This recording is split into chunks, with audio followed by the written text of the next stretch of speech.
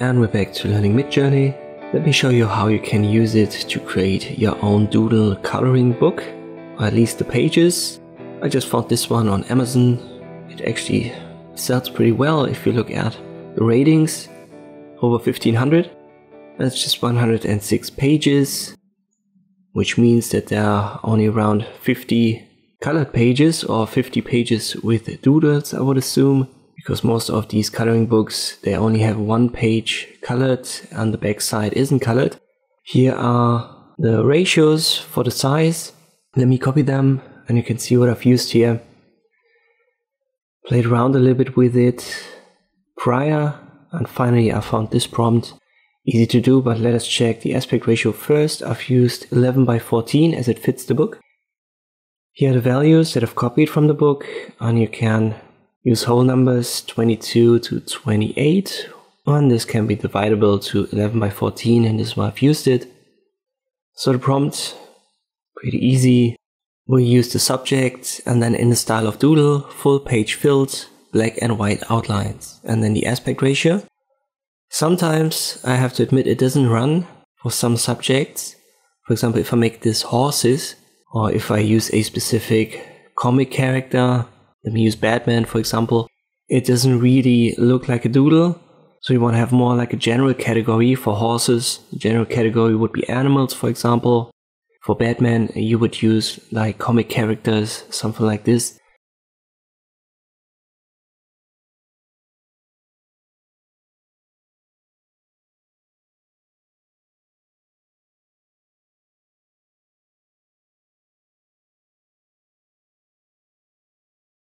Here you can see the horses are way too detailed, it's not doodle style anymore. Same was for Batman when I tried it. Let me prompt this again. But what does work is animals here. So this is typical doodle style. And fantasy characters also works. It's a little bit more abstract. You can leave the subject out as well and just make it in the style of doodle, full page filled black and white outlines and it gives you random results and they're definitely going to look like these typical doodle pages.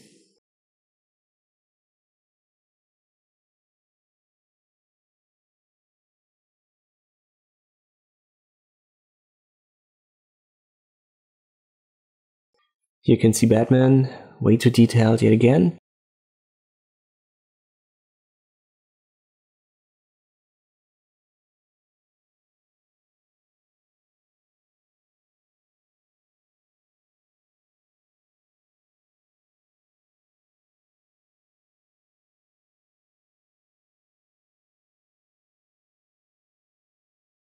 But comic characters works.